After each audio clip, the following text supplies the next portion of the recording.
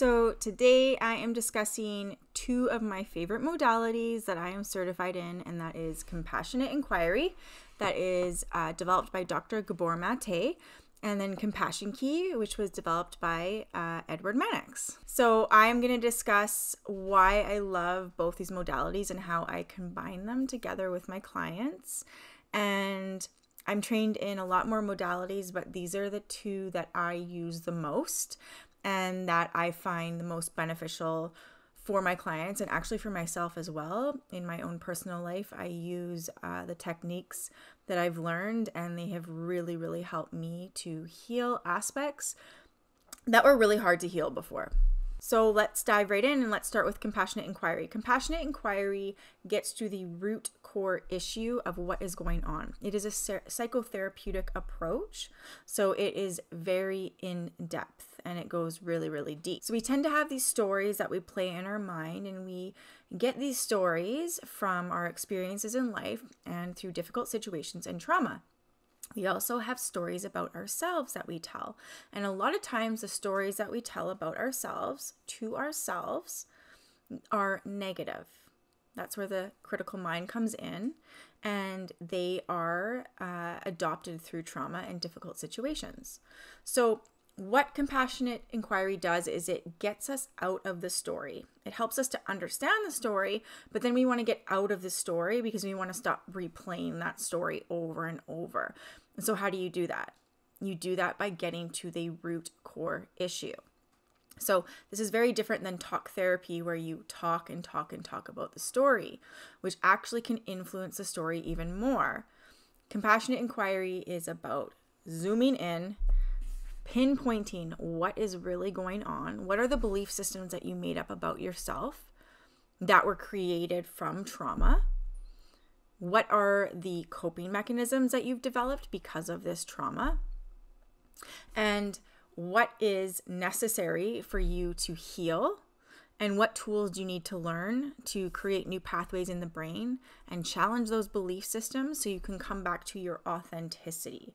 The authentic self, which is underneath the limiting belief systems that you've created about yourself, that you're believing in, and that you've believed in most of your life. So we want to completely abolish those belief systems. And so then we can really tap into what is underneath here the real self, your true self, your authentic self that's been hidden underneath all this pain and trauma.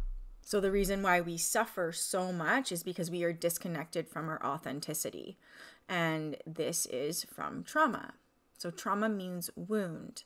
Trauma isn't actually the event that happened, it's what you made this event mean about yourself that you were carrying with you. The event happens, or events happen, but we adapt and we move through it what the wound really is is how you feel about yourself, how this crushed your self esteem, how this made you believe you were unworthy, or that you were not good enough, or that you were a burden, or that you don't matter. But these limiting beliefs are never true because everybody is worthy and everybody is good enough. And so we want to challenge those beliefs, and compassionate inquiry gets to the root so we can find out what is really going on and how you can take the steps to heal. Compassionate inquiry always blows my mind because it is so quick. It gets to the root so quickly. Each session, just one session, we will get to the root of what is going on in present day and how that's connected to the past and what we need to do to take the steps to heal.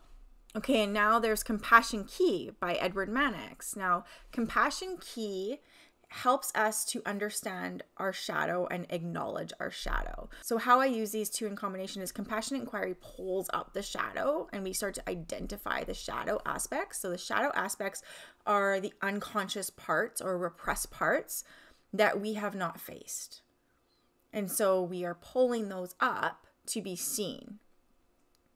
So, what Compassion Key does is that it brings in compassion and acknowledgement. So, what we want to do when we have these parts that are pulled up doesn't feel very good when you see them. Sometimes there can be shame that comes up and judgment. And so, Compassion Key is a form of inner child work and deep work that acknowledges these shadow parts and holds these shadow parts because these shadow parts want to be acknowledged. They need to be acknowledged for them to heal. It's not about pushing away the parts that you don't think are worthy. It's about bringing them up and acknowledging them and holding them. And then when you hold them, you're holding yourself, you're holding your inner child, who is usually the one that is suffering within, the child that still lives within you, right? There's a lot of situations we go through in childhood that are scary for children. Just going to school can be a trauma. I know it was for me. Going to school every day was really hard for me and that became a trauma. And that's just regular life, right? Let's that's not talking about all the other things that people go through like abuse and neglect. So, when we do this deep inner child work and acknowledge these lost and repressed and shadow aspects, we are shining light on them and loving them and then we can understand ourselves on a deeper level and we can start to heal. So a session with me looks like this, you know, bringing up all the stuff, pinpointing what is going on, and then bringing in a lot of love, inner child work, and compassion. Um, and this is where people get tend to get quite emotional. So a lot of emotion comes up, a lot of compassion, a lot of understanding, where maybe there was an understanding before and there was a lot of judgment towards themselves. And so this is a really, really healing exercise to do and the two of them together just work so wonderfully. There's also something really magical about Compassion Key when it's done because it shifts the person when they are in it, it shifts them right there. Something about acknowledging and giving compassion to the parts within ourselves shifts you immediately because that's all healing really is is acknowledging these lost parts and then giving them love like I said before, it's not about getting rid of anything. Healing is about acknowledging all of our parts, loving all of our parts, and realizing eventually that there was nothing to fix and there's nothing to change. You are not broken, you never were broken. But it takes going through the healing process to understand that and get to that point where you have this deep self acceptance of where you are. And that includes all of your quirks and a lot of our quirks do come from trauma and they do adapt to our personality and become parts of our personality. So we can see which ones are real and which ones are just coping mechanisms that can actually start to fade away. We won't need those coping mechanisms anymore because we're starting to heal. And so these parts of our personality that we believed were us start to drop away. And so they never really were us. And so, what is underneath is the authentic self, your authenticity. And that is the goal to step deeper and deeper into your authenticity because it's the disconnection from our authenticity which keeps us in suffering. If you have any questions, be sure to comment in the comments below. I'd love to have a conversation with you.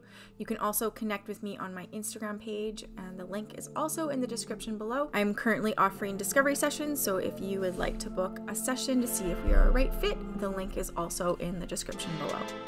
If you like this video, be sure to hit the like button, subscribe, and share with your friends. My name is Tess. Thanks for watching.